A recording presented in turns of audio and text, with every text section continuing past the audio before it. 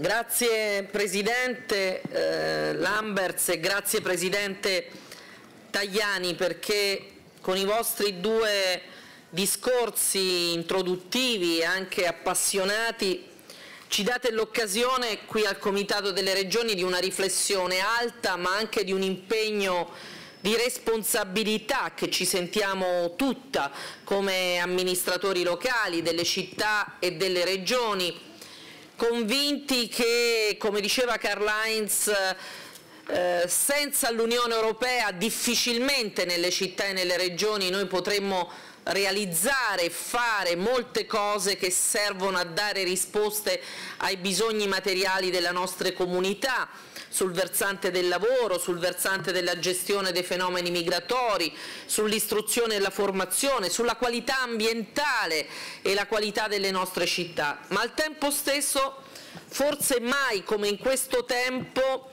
l'Europa per essere sostenuta, difesa, riformata ha bisogno anche dell'azione delle autorità locali e regionali. E senza le città e le regioni probabilmente l'Europa viene esposta anche a dei rischi sul suo futuro. Eh, a me e a noi fa molto paura quando sentiamo all'interno dei nostri paesi esponenti politici, forze politiche, forze di governo che dicono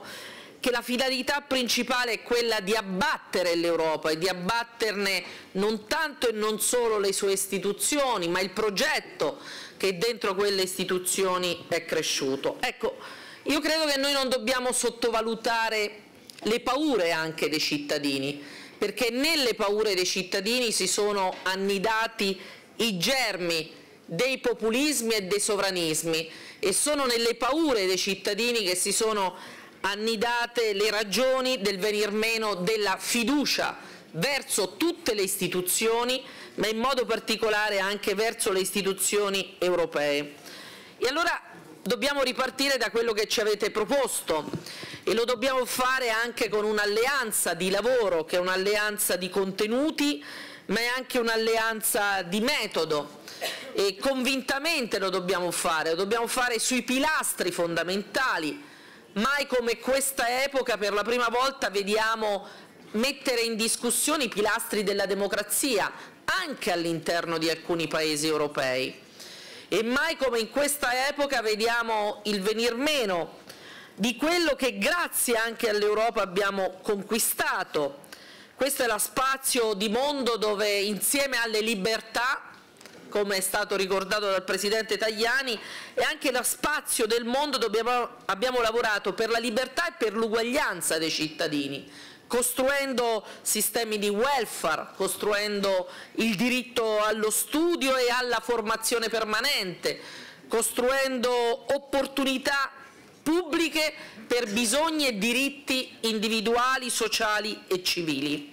E allora da queste contraddizioni dobbiamo essere in grado di ripartire e, e, non possiamo che farlo con le istituzioni che più hanno la rappresentanza diretta delle nostre comunità, che sono il Parlamento europeo perché eletto direttamente dai cittadini e sono i comuni e le regioni che ogni giorno lavorano a far sì che questo elemento di fiducia venga mantenuto. E allora il dialogo non è solo un modo per raccontare la bontà dell'Europa, forse non basta più questo, siamo oltre questo livello, ma per raccontare come è possibile riannodare un filo di fiducia e di speranza anche sul nostro continente, perché attraverso l'Europa possiamo garantire più investimenti pubblici e più investimenti pubblici di qualità,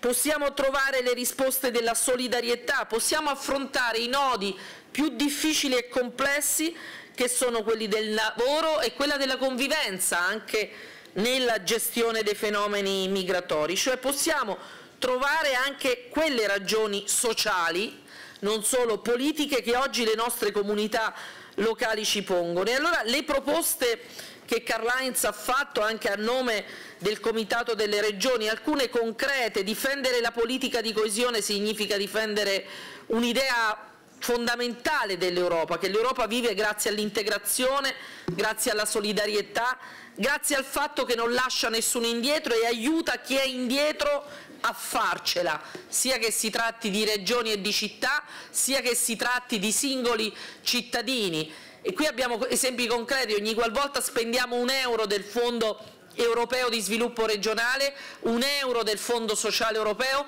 stiamo aiutando la solidarietà e stiamo aiutando a superare i ritardi e stiamo aiutando chi meno ce la fa a farcela ancora di più. E allora questi mesi che ci separano anche al voto delle elezioni europee saranno mesi di un lavoro importante come istituzioni e non solo come forze politiche, perché mai come questa volta non ci contrapporremo solo su che cosa è il percorso per riformare l'Europa, su qual è la rotta che dobbiamo percorrere, ma come diceva Karl-Heinz anche sul metodo che ci dobbiamo dare e forse per la prima volta in 70 anni, almeno la prima volta in 60 anni dalla storia delle istituzioni europee, che ci troviamo di fronte ad un confronto dove qualcuno pensa di non condividere più la casa comune. E allora chi pensa che invece la casa comune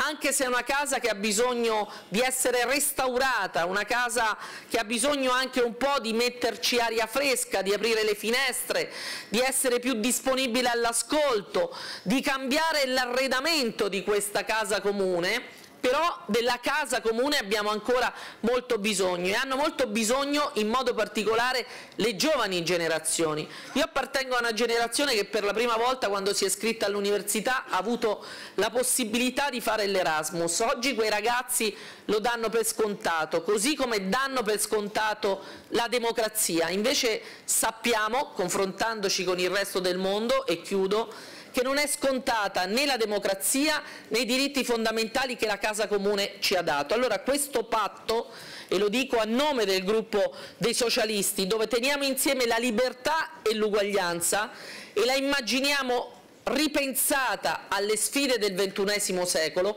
che sono diverse da quelle dei padri fondatori, molto diverse, secondo me alcune sono anche più facili di quelle che avevano i padri fondatori, altre sono più difficili e complesse, le potremo vincere se però difendiamo insieme la casa comune.